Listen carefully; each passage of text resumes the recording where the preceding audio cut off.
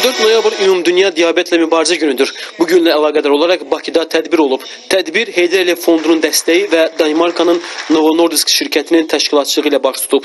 Xatırladaq ki, Heydər Fondu 2007-ci ildən başlayaraq Dünya Şəkərli Diabetlə Mübarizə kampaniyasına qoşulub.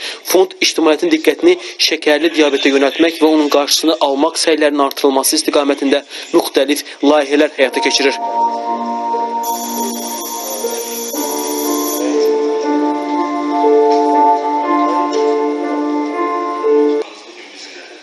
Tədbirdə Heydərli Fondunun Beynəlxalq Əlaqələr Şöbəsinin rəhbəri Soltan Məmmədov, Novo Nordisk şirkətinin korporativ vitse-prezidenti Emil Kengshoy Larsen, Danimarkanın region üzrə səfiri Svend Oyling, Səhiyyə Nazirinin müavini Elsever Ağayev, Milli Məclisin Səhiyyə Komitəsinin sədr müavini Musa Quliyev, İtaliya, Danimarka, İran və digər ölkələrdən qonaqlar iştirak ediblər.